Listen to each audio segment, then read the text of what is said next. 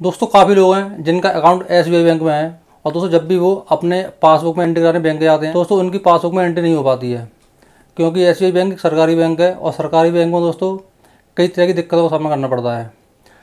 आपने देखा होगा, जब भी हम अपनी पासबुक में एंट्री कराने जाते हैं या किसी और छोटे मोटे कामों के लिए जाते हैं तो दोस्तों, या तो हमें बैंक में भीड़ मिलती है, या फिर जो मशीनें होती हैं पासबुक में एंट्री करने वाली, वो ख़राब पड़ी होती हैं। तो दोस्तों, ये सरकारी बैंक जो होती हैं, इनमें हमें यही दिक्कतों का सामना करना पड़ता है।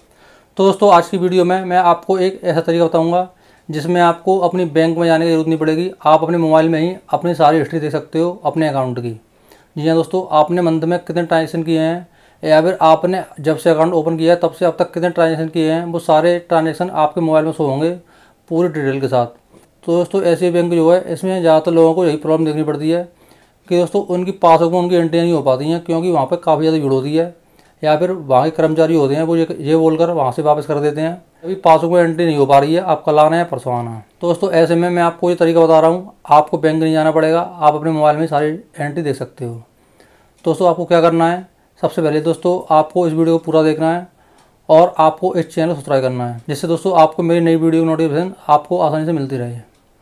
तो चलिए दोस्तों, शुरू करते हैं और मैं आपको पूरा तरीका लाइव दिखाता हूँ। दोस्तों, सबसे पहले आपको अपने फ़ोन में YONO S B I application को ओपन करना है। तो चलिए मैं आपको ओपन करके दिखाता हूँ। जैसे दोस्तों आप इसे ओपन करोगे, यहाँ पे आपसे आपका पासवर्ड मांगेगा। तो चलिए मैं आपको यहाँ पे पहले इसे वेरीफाई करता हूँ, फिर आपको इसे ओपन करके दिखाता हूँ।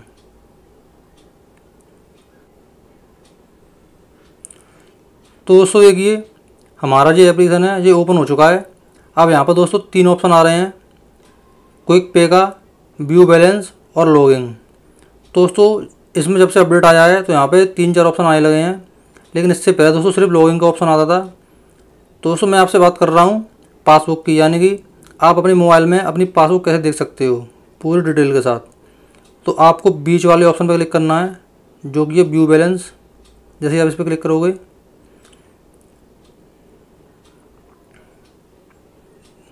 तो दोस्तों, यहाँ पे आपसे जो दो ऑप्शन मांग रहा है। कि आप अपनी इस आईडी को एम पिन के साथ ओपन करना चाहते हो या यूज़र आईडी के साथ? तो दोस्तों, मैं एम पिन से ही इसे ओपन करना चाहता हूँ। तो यहाँ पर मुझे अपनी एम पिन डालनी है। चलिए मैं डाल देता हूँ।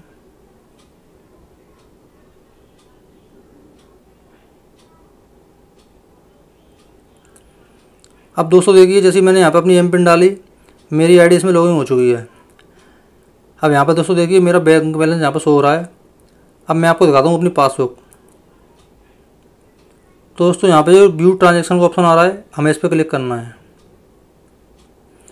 जैसे ही आप इस पर क्लिक करोगे तो देखिए दोस्तों, मैंने जितने भी ट्रांजेक्शन किए हैं, चाहे मेरे अकाउंट में किसी ने पैसे भेजे हैं या मैंने किसी के पास भेजे हैं, या फिर मैंने जो भी ऑनलाइन शॉपिंग की है या कोई भी रिचार्ज किया है, वो सारे ऑप्शन यहाँ पे देखिए दोस्तों सारे ट्रांजेक्शन यहाँ पर सो रहे हैं, पूरी डिटेल के साथ कि मैंने किस दिन किया था, किस डेट को किया था और किस जगह पर किया था, सारा ट्रांजेक्शन यहाँ पर सो रहा है। और दोस्तों, यहाँ पर ट्रांजेक्शन तब तक का शो होगा जिस दिन का, जिस दिन आपने अपने बैंक में, इस बैंक में अपना अकाउंट ओपन किया था, उस दिन से लेकर दोस्तों अब तक का सारे ट्रांजेक्शन यहाँ पर शो होंगे।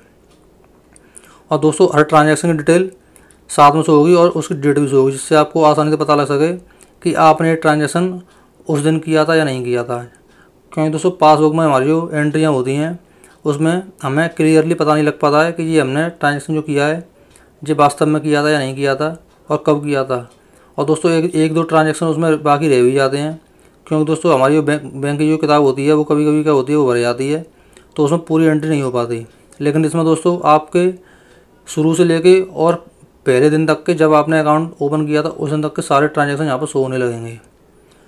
तो दोस्तों, आप इस तरीके से अपने मोबाइल में ही अपनी पासबुक दे सकते हो, क्योंकि आप सबको पता है कि एसबीआई की जो सर्विस होती है एस की सर्विस में दोस्तों, हमें इतनी सुविधा नहीं मिलती, क्योंकि एक सरकारी बैंक है और सरकारी बैंक में दोस्तों काफ़ी ज़्यादा भीड़ मिलती है तो ऐसी छोटी मोटी सुविधा होती हैं पासबुक में एंट्री वगैरह की, जो हमें प्रॉपर देखने को नहीं मिलती तो आप इस तरीके से अपनी मोबाइल में ही अपनी पासबुक को देख सकते हो और सारे ट्रांजेक्शन की एंट्रियाँ देख सकते हो उनको पता लगा सकते हो कि आपने कौन सी एंट्री किस टाइम पर की थी कौन सा ट्रांजेक्शन किस टाइम पर किया था।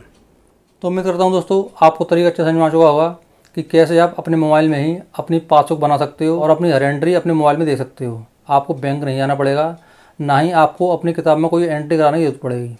आप अपने मोबाइल से ही सारी हिस्ट्री चेक कर सकते हो कि आपने कितना पैसा कहाँ पर ट्रांसफ़र किया है और कितने पैसे आपके अकाउंट में कहाँ से आए हैं।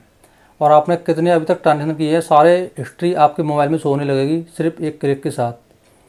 दोस्तों, उम्मीद करता हूँ आपको वीडियो अच्छी लगी होगी। अगर आपको वीडियो अच्छी लगी हो तो इसे लाइक करें, इसे अपने दोस्तों में शेयर करें और अभी तक आपने चैनल सब्सक्राइब नहीं किया है तो प्लीज़ इसे सब्सक्राइब कर लें। क्योंकि दोस्तों, इस तरह की वीडियो मैं आपके लिए हमेशा लेकर आता रहता हूँ। तो फिर मिलते हैं अगली वीडियो में तब तक लिए जय हिंद वंदे मातरम।